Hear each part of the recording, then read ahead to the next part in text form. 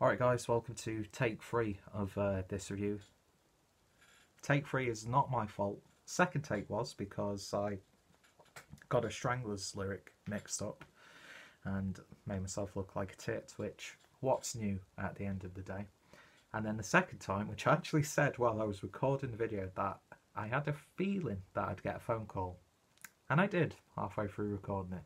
And uh, as you can see, got my uh, beer label collage up there. But um, it's such like a weird shape and size, much like my, sh my shelf. Well, yeah, my shelf's quite long. Uh, it's such like weird shape and size, like myself, that I don't know. It, it looks good where it is, but I'm still trying to find a good angle and a good way to utilize it. I don't know. It's no big deal. It just it looks nice. It doesn't look good on camera because you've got glare on it and the video's a little bit patchy. Um, but yeah, anyway, who cares? Uh, so today we've got something that could be potentially really special. Um, it's definitely intriguing for me, and um, as you can tell by the title and the thumbnail, we've got some Swedish craft beer in a can, no less, for 69p. Picked this up in Home and Bargains um, because I was just having a look around.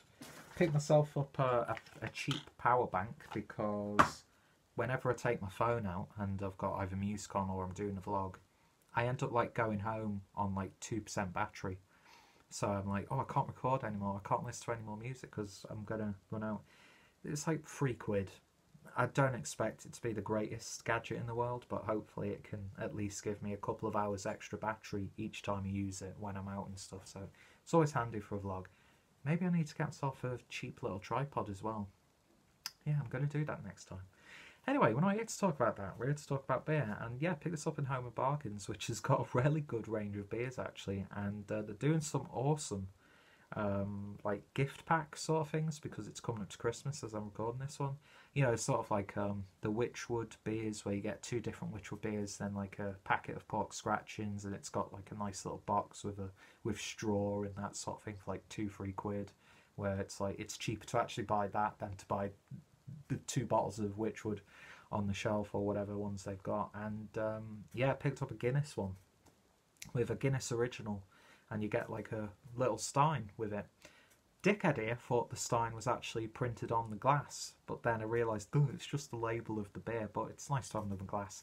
And they've got a Carlsberg one litre stein. I mean, you get the one litre Carlsberg export, which I might pick up because I still need to review that for the channel and it was like four quid. So you know, to pay four quid for a litre Stein is great. So if you've got a home and bargains near you, um, if it's in your part of the UK, not sure if it's like a regional thing or if you know it's like oh it's in the northwest and like the southeast, you know, one of those sorts of deals. But give them a look and go to your local bargain shops like B and M Bargains and you know those sort of discount shops because you can get some proper intriguing beer stuff and little gift sets which you know it's always great for potential presents or you know for yourself. But um, yeah, anyway, waffled on for way too long. So we're going over to, and I hope this is the actual right brewery name, uh, the Backyard Brew, or a Backyard Brew, launched from the Backyard Brewery in Falkenberg in Sweden. And a big shout out to my good friend James over at Rampant Light Beer Reviews, even though he's in the UK now. Uh, he spent a hell of a lot of time in Sweden I was lucky enough to meet up with him while I was in Germany. That was a really great day. Would have been, would have been good if we if I could have organised it better on my part, so I could have met up with him in Munich or something and had a good beery day out. But um, yeah, him and his cousin came down to Regensburg, met him, took him around the city, and unfortunately Beretta wasn't open. Would have been nice to have taken him there, but yeah, we had a, a damn good time, and hopefully I can do that a lot more over the coming year. So yeah, big shout out to James for this one. Um, and yeah, so this is the Bee 17, a hop-struck Pilsner, clocking in at 4.7. And, uh, you know, for a can that's only 69p, you at least get the ingredients list on the back. So the brewer is apparently Daniel. Hi, Daniel. Uh, if you're watching this, uh, the style is a dry hopped Pilsner. The malts are Pilsner malts and caramel malts and the beer is dry hopped with Saaz and Willamette. IBU counts 53 Uh, original gravity is 11,3 and EBC 16. Not too sure what that means. If any of my homebrew friends can uh, tell that, if you can actually read that, because the camera quality is not really that good for some reason today. And uh, yeah, I've got to read the um, ingredient, uh, the tasting notes, but apparently it's ideal with fish, meat, sausage, veggie, anything really. So you can have it with your more pungent cheeses like Gorgonzola, baby. That was a terrible impression um, of you know who. The the rolled, baby. Anyway, enough of that because I'm making a big fucking wally of myself in this review. But yeah, fantastic looking can. Uh, just about saved it. Fantastic looking can, fridge of 30 mils, 69p, dry hop lager. Let's give it a go. I'm not expected to be blown away, but I would happily be blown away with this one. And of course, it's a little bit shaken up, so it's uh, cream pied all over my hand. It's got a big smell coming off it. And it's, look at that. I haven't seen anything like that since Pornhub. So uh, let's pour it into the glass and see what we get. Um, I read on the back that I think this is um, it's either owned by Carlsberg Sweden or just the Swedish branch of Carlsberg have the distribution rights, or if they own uh, Backyard Brewery. I'm sure I've heard of the brewery before, but I cannot commit to that notion. So uh, if anybody's got any information that isn't already going to be put in the description box, feel free to educate me. That's what it's all about. So beer in a glass then, and uh, yeah, lovely sort of ambery golden colour. It's a little bit darker than your regular sort of pilsner. Uh, in fact, it's considerably dark. I'm usually used to that sort of like lighty yellow, um, like urine sort of look uh, that pilsners have. Yeah, lovely copper hues, nice clarity. There might be a little couple of bits and bobs in there, but it might just be the carbonation, which is nice and steady. And going up to that just shy of two fingers worth of a maybe slightly off-white head, but um, yeah, it looks to me more like a traditional German Helles beer, which I am missing that style quite a bit. Anyway, let's see what we get on the aroma. Big hits of citrus in there lovely sweetness coming out of it, like a syrup-like sweetness. It's got that musky, malty tone to it as well. A little bit of like a herbaceous edge, spicy hop character, which I'm guessing is coming from that Saaz. But yeah, it's got this sort of like very subtle sherbet lemon sort of character to it.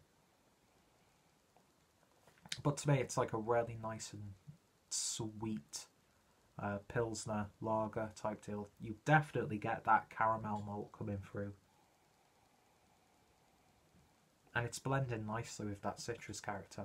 Not one of them is overpowering. And um, I mean, you've heard me talk about hoppy lagers and craft lagers and craft pilsners and that sort of thing.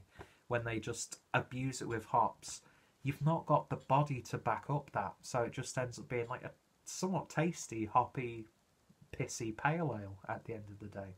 I like a good lager. There's nothing wrong with just brewing a high quality pilsner or lager. You can still call it craft because you're a craft brewery. You've brewed it in a craft way, I suppose.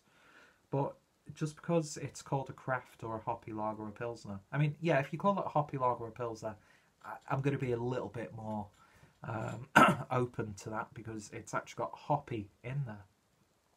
But um, yeah, I mean, it does say the hop struck Pilsner is dry hopped with hops, so I'm expecting uh, it to deviate slightly, but from the aroma, it seems to be like a good, honest Pilsner. Anyway, let's give it a taste. Cheers, guys.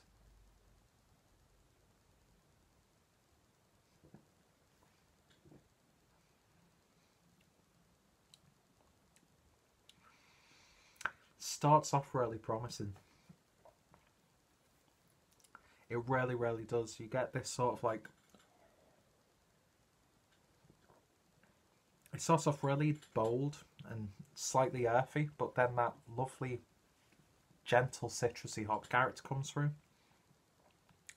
But then that just disappears quite quickly. And then what you're left with is sort of like um like lowbrow, almost like slightly low quality Eastern European lager Pilsner territory. Finishes a little bit watery as well.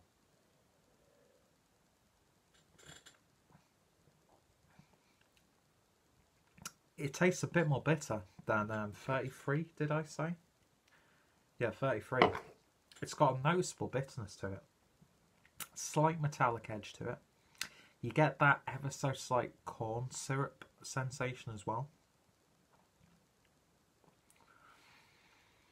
That being said, it's not bad.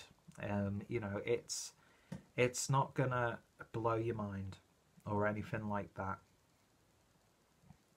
But at the same time, I've tasted much, much worse, and I've paid a little bit more for that experience.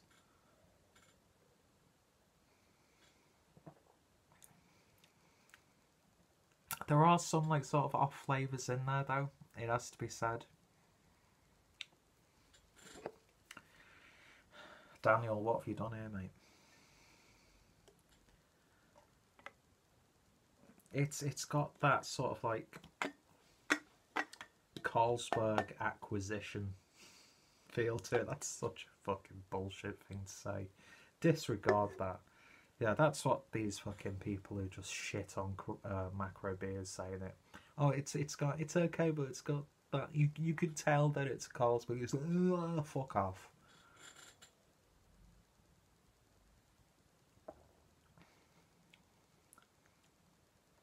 See, now that it's all in there, those off flavours have subsided. Maybe now that it's aerated a little bit in the glass, that's helped it. I do think, I mean, this isn't exactly the most chilled that it is because I didn't really want to do that and I was impatient because I was in the mood for a drink. So it's only been in the fridge for about 20 minutes to half an hour. It's got a little bit of a chill to it. But you would enjoy this a lot more um, when it's been in the fridge for a day or whatever, for a few hours at least. But yeah, it's just a little bit thin, slight off flavours in there. But for 69p, you can do much worse. You can do much worse even with the the more highly regarded craft lagers. I mean, I think I'd rather have this than like a, a, a lager that's been absolutely abused with hops and you're paying like craft pale ale IPA sort of prices. Do you know what I mean? But this, it's not bad. It's not bad. It's worth a go if you see it, especially for that price. And if you have tried it, let me know your thoughts, opinions on it. And if you've tried anything else from these guys, recommendations are always welcome. So in terms of a rating then, I'm going to give this a, a somewhat solid, above average, excuse me, 6 out of 10. I don't think I would buy it again, uh, even though it is only 69p. I'm getting like that sort of like maize crisp sort of flavour now in my mouth. Yeah, it, it, it's it's okay. It's okay. Um, but I could see people shitting on this. Um, and at the same time, I could see people actually really being quite partial to this one as well. So, you know, if you wanted a cheap little night, get yourself four, six cans of this. You know, you're only paying like three quid for that. No, more than three quid. Sixty-nine times four. No, it's near, near to four quid. But if you spent two pound more, you could get yourself a four pack of um, Punk IPA or uh, Elvis juice, which I did today. So I'm looking forward to drinking that. But um, it's going to go over a lot of foods. Another 15 minute review. I do apologise. And I apologise for I did like a little bit like a, a very un PC gesture with my hand before and uh, used the F word. So I do apologise about that to anybody who um, is uh, sensitive enough to be offended who may be watching this review. And uh, Daniel, um, I apologise um, that I might have potentially misrepresented your beer that you've made.